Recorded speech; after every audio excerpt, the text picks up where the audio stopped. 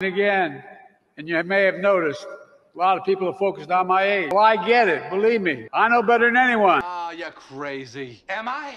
Or am I so sane that you just blew your mind? Something else I know. When I came to office, this nation was flat on its back. I knew what to do. I vaccinated the nation and rebuilt the economy. Wait, wait, wait, wait, wait. Kamala came into office determined to transform how the economy worked, change the way it literally functioned. Boy, if that isn't the pot calling the kettle black. The great artists of our time representing the groundbreaking legacy of hip hop in America, LL Cool J. Uh, You gotta stop doing that, okay? It is weird.